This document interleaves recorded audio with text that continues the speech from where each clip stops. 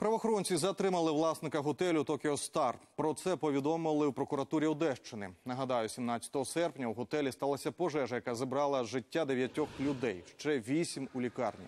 Наразі власнику Вадиму Чорному готують підозру за порушення норм пожежної безпеки. Нагадаю, двоповерховий готель був переобладнаний з колишнього травмайного депо, а деякі з номерів не мали вікон.